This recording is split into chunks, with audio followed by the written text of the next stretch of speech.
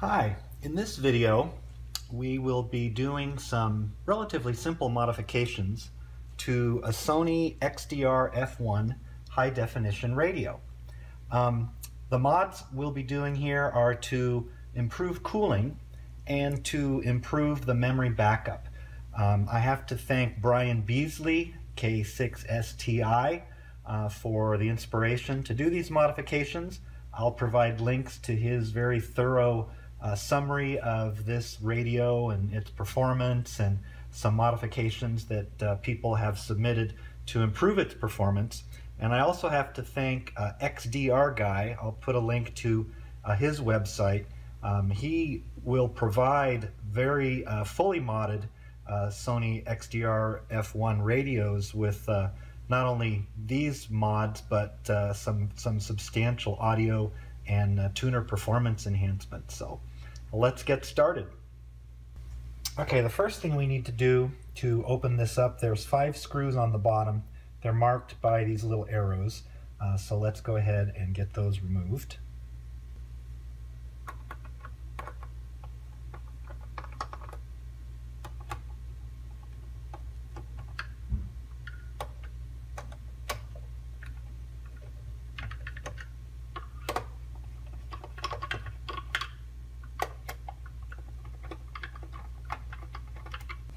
after we remove those five screws, there's three here on the back um, that we also need to remove. These two little guys and this slightly bigger one.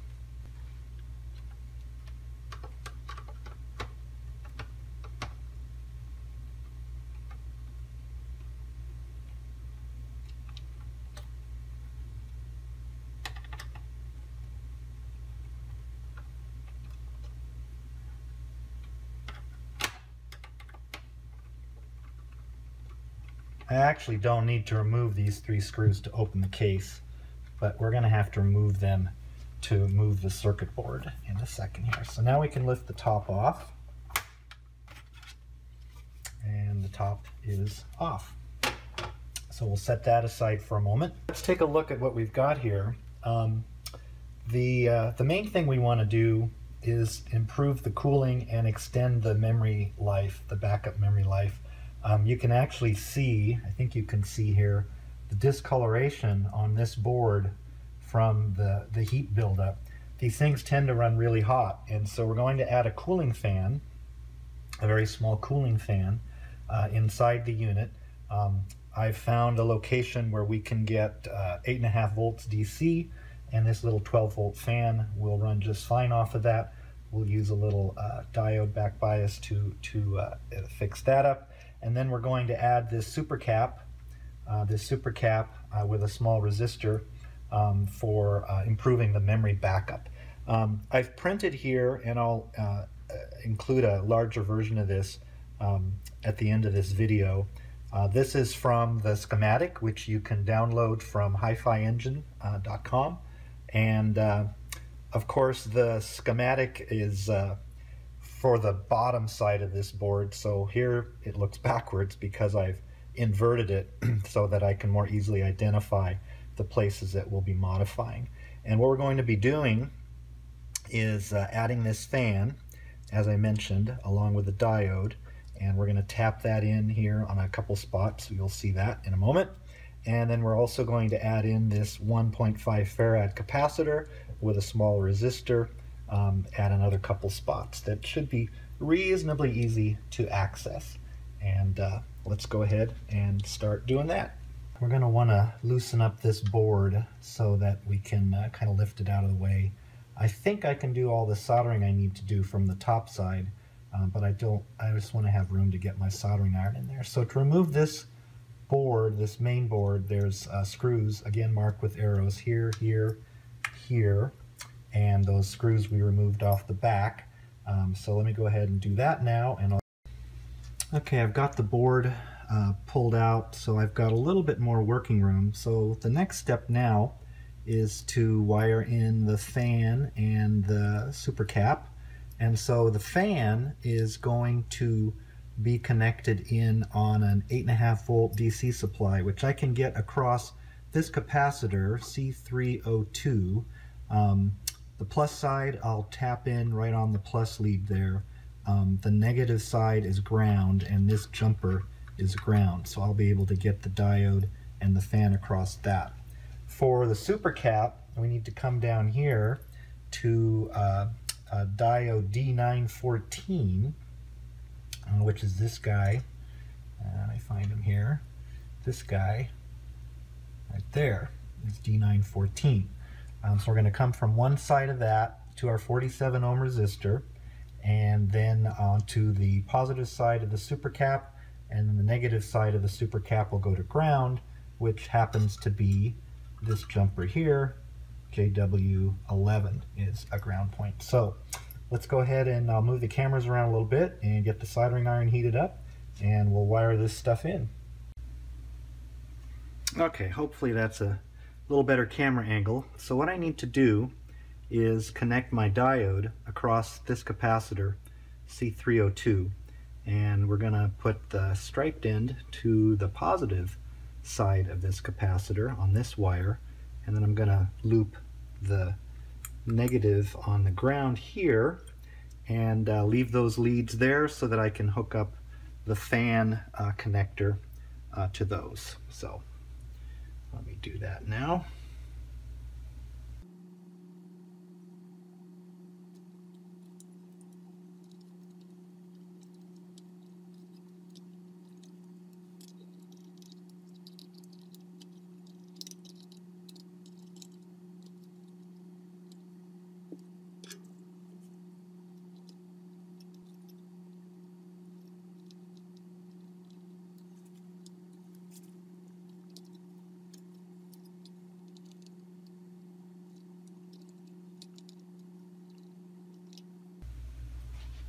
Okay.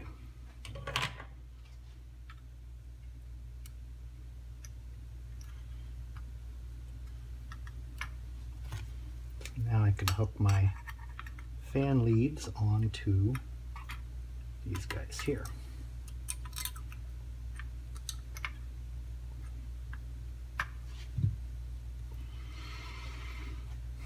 Positive side to the positive side of the capacitor.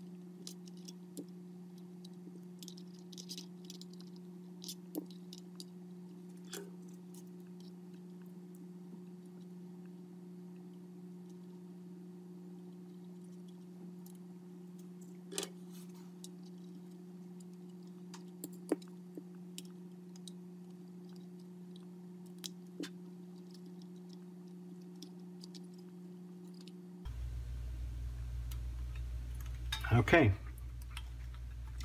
there's our fan connector. I'm eventually going to mount the fan right, right along here, but now we need to get the uh, capacitor in there. Okay, for the super cap here, the first thing I'm going to do is put a little uh, jumper cable on here and uh, use a little bit of heat shrink. So we'll get the red and the black. I've already tinned those leads and so we're going to go black onto the negative lead here. Wrap that around a little bit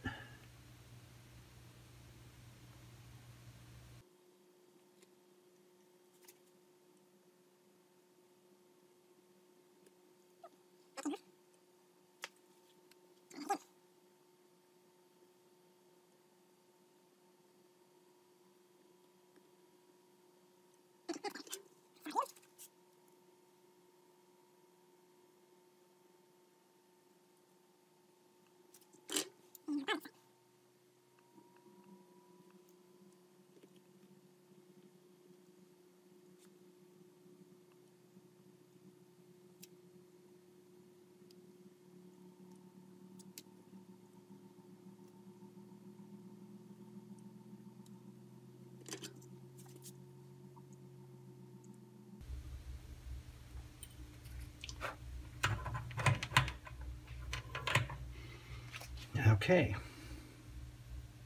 We'll get our heat shrink on there and that part will be good to go.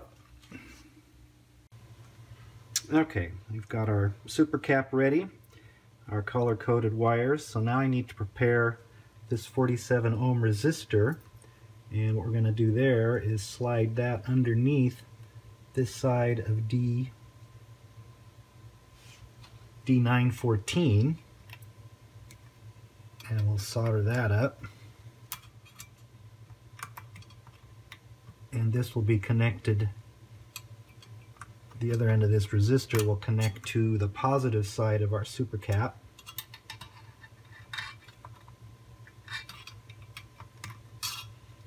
Oh, I didn't need you to go under there yet.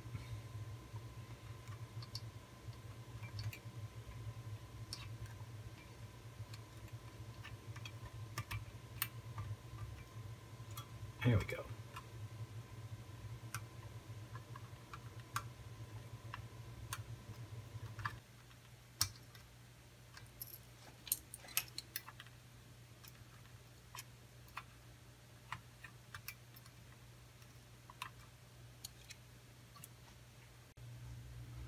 Okay, now we need the negative side of the super cap is going to go onto JW11 which is uh, ground.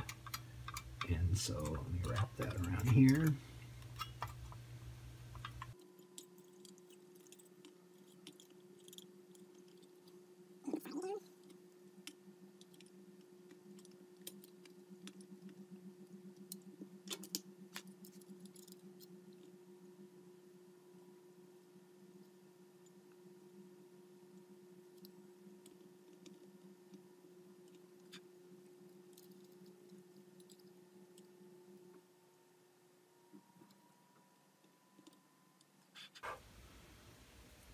Okay.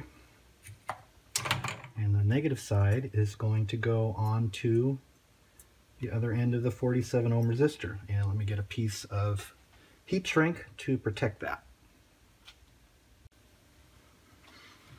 And we'll solder that positive side of the super cap to the 47 ohm resistor.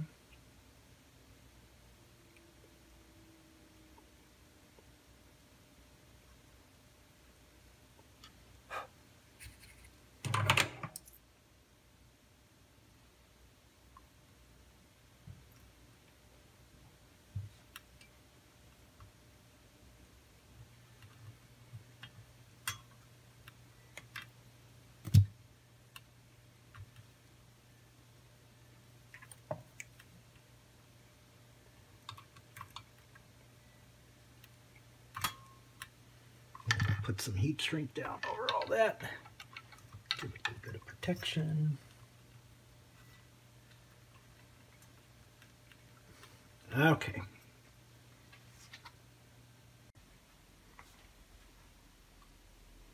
I'm going to use Velcro uh, to attach the super cap right there and the fan will go right in here.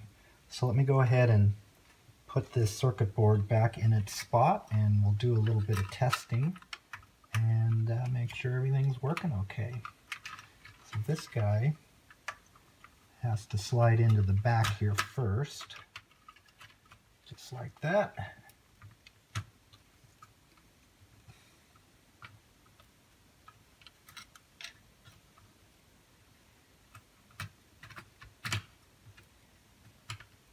Okay put our little screws back in.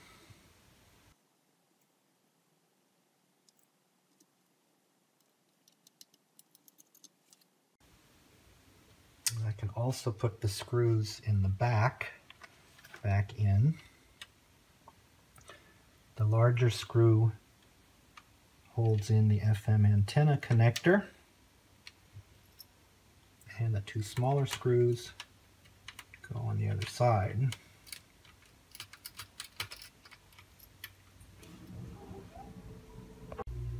Okay, moment of truth. Let's uh, plug in our fan here.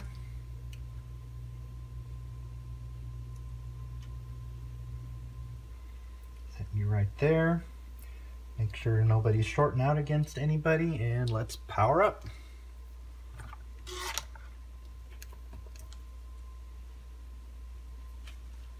Okay, the clock is blinking, that's good. Turn the power on.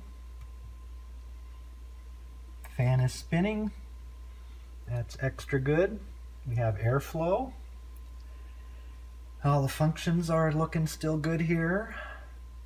We'll let the capacitor here charge up and then I'm going to pull the power and uh, see how long it retains its memory because before you could barely go more than a few seconds and it would be have already lost all its memory so let me uh, in fact uh, just power it off here again this way. And the fan should go off. And the fan is going off. That's good. And let's pull the plug.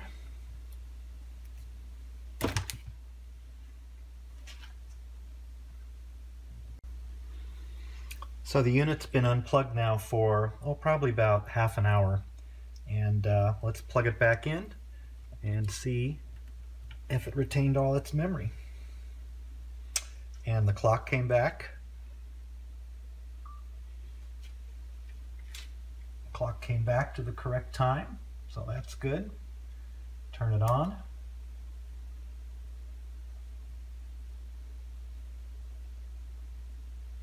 and it went back to the last station that was tuned. So I believe our modifications are a success. Let me uh, go ahead and mount the super cap and the fan and I'll uh, again use Velcro for that and we'll show you that when it's all done. All right, it's uh, everything's mounted in there now. It seems to be working great. The fan is Velcroed on the bottom and then I put um, a zip tie around it just to keep it from wiggling. Um, the super cap is also mounted there with a little bit of Velcro. And so we're going to button it all up and call it good. Again, I will post um, in the description some links and the parts list that I used. Um, and so hopefully some of you find this to be useful. Again, some simple modifications to improve the cooling and the backup memory retention for your Sony FDR uh, X1 HD radio.